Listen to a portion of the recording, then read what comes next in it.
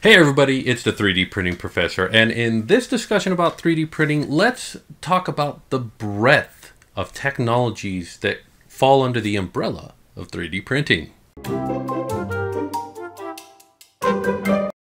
As mentioned in our previous discussion, 3D printing describes a wide array of different technologies that are all similar but do it in a different way. So let's go over the different types of technologies that are out there.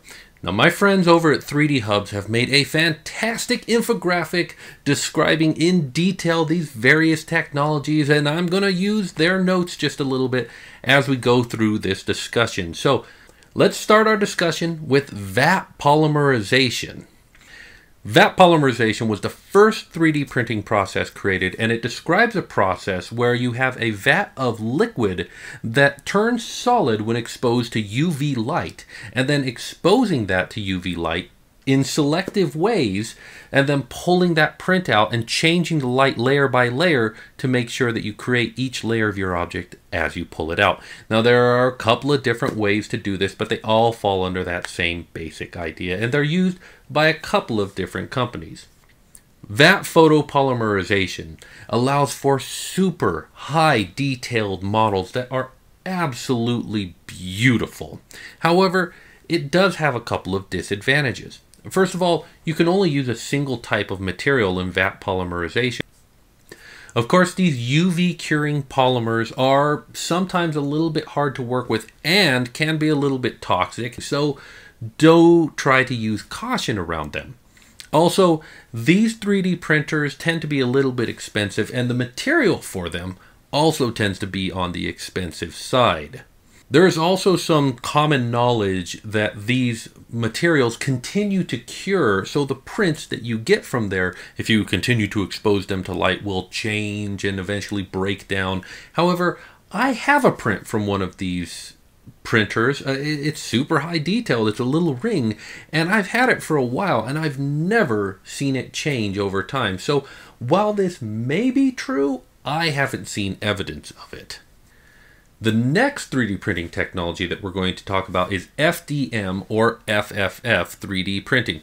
They're both the exact same process. Now, this is probably the most ubiquitous 3D printing technology that's out there. It's the one that you're probably going to have in your home if you have 3D printing in your home. It's actually probably the one that'll be in your business because it's a very mature technology, and there have been companies that for years have figured out how to use this technology in extremely good ways. The high end machines are amazing with it.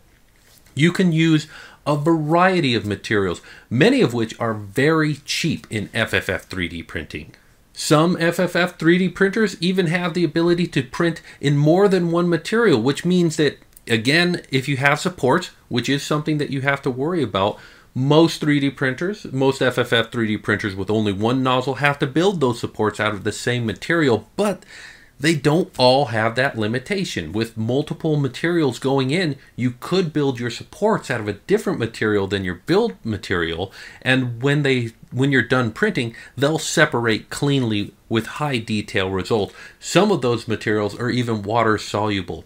There's always new materials coming into FFF 3D printing and always new advances coming in. It's one of the most rapidly advancing 3D printing technologies that's out there. Overall, FFF 3D printing super cool and it's the one that you'll probably get to see the most, but it's not the only technology out there. There's also material jetting. This is where a head, like on your inkjet printer, squirts out a material that's liquid but that can be made solid afterwards. It might be that UV curing stuff, it might be heat cured, it might be some other technology behind it but it's brought out as a liquid and then turned into a solid almost immediately afterward. As opposed to being pulled up out of a vat, a reservoir of material, it's deposited layer by layer on what you're doing. Now, some of these technologies are super cool, and the people who are doing them are doing some amazing things. For instance, they'll have multiple heads on there, just like you can with your inkjet printer, that print out a rigid material and uh, a flexible material, and then that print out another material that's water soluble afterwards so that it will just dissolve away. And with this, they'll build something that's partially rigid and partially uh, uh, flexible that have great supports that disappear afterwards. And they'll even blend the material so you can have things that are kind of flexible and kind of rigid just by putting the liquid on top of each other and then curing it afterwards. It's super cool. But these technologies are held by only a few companies and they're very expensive to get. And the materials for them, again, are controlled, so they're also very expensive. This is probably not the sort of thing that you're going to see in your home, but it is a very cool 3D printing technology, and the people who are doing neat things with it are doing amazing things. There's binder jetting. The idea is you have a reservoir of material that you lay down a very thin layer. It's a dust and you just lay down a dusty layer of the stuff and then you go over it with a binder that binds it together just like a inkjet printer that sprays out glue essentially. Now the cool thing about binder jet materials is these are the prints that can be full color. I mean full color. Imagine layers of paper where you can print whatever color you want. It's that degree of color in there, except in full 3D. And the other advantage to this technology is that you don't have to worry about supports because you're filling up your reservoir, your, your build area, with each layer that supports are automatically held in place. You just have to, after the print is done, reach into that filled up reservoir of material and pull your print out of it. Now, there are some disadvantages to this technology. For one, it's very large. You need to have a reservoir as big as your build area next to your build area to empty that out and fill up your build area. Also, it's very messy with a lot of fine, dusty particulates all over the place. Not the sort of thing that you're going to have in your house. Binder jetting is, generally speaking, a more expensive 3D printing technology as well, mostly because the companies who are doing it, it's held by a few companies who still have control over the patents of them. So it's not likely that you're going to see a binder jetting material machine in your house anytime soon. Still, a very cool technology that can do things that other 3D printing technologies can't do.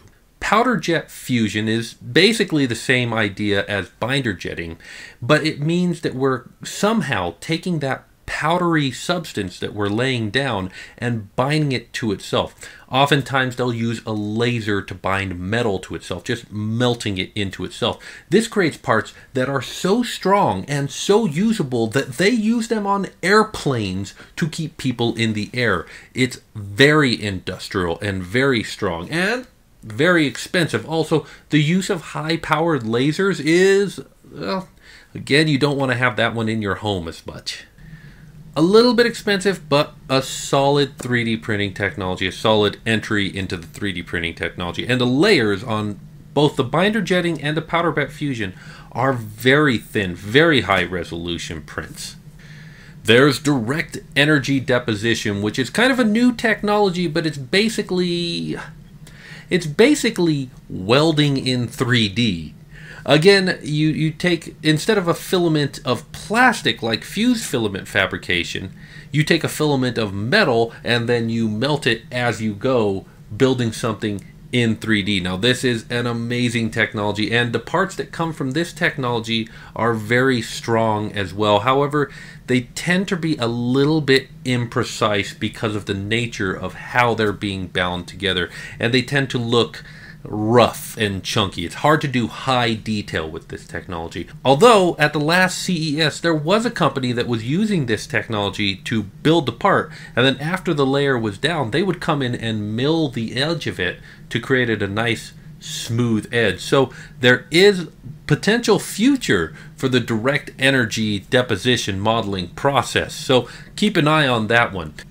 And lastly, well, lastly on the infographic anyways, is sheet lamination. This is literally laying down a piece of paper, cutting it out to the shape that you want with a cutter like a Cricut cutter, gluing, laying down some glue with an inkjet printer, laying down another piece of paper, cutting out that layer, glue, paper, cut, glue, paper, cut. Layer by layer, building up your print. Some of these sheet laminations actually include printing on the paper with an inkjet printer so that you can have a full color print. This creates prints that are absolutely beautiful. Paper thin layers, and you don't have to worry about supports. When you're done, you just break it out of the paper and you've got your print there good to go. However, is a paper print really applicable and, and useful in a real world application? Well, it's not bad. At the end, the prints that come out of it feel like wood, and there's no infill hollow prints like you get with FFF or other processes. It's a solid piece of, of layered wood, essentially. Uh, uh, think of particle board, but more color and and uh, whatever shape you want it. So there's a lot of possibilities with sheet lamination. Again, the printers that do it are a little bit expensive. They're hard to get a hold of, but it's possible that this technology could make it into people's homes one day because it is fairly clean and fairly easy to use. And if the price comes down on it, who knows? So there we go. There's all the 3D printing technologies, well, that are on this infographic, anyways. Who knows what the future will hold? There's always a different way to do 3D printing. I'm going to be talking most about these kinds of printers because it's what I have and it's probably the one that you're going to see. But I want you to know that there are other technologies out there. This is just a few of them. It's definitely the majority of them that are out right now. As always, there's more information about this discussion on the blog, so be sure to follow along with that and follow the link. As always, I thank you very much for watching. Safety first. I'll see you next time.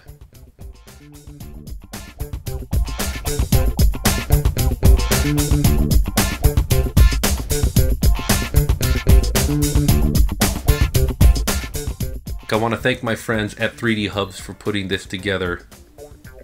Seriously? Seriously. Did it stop?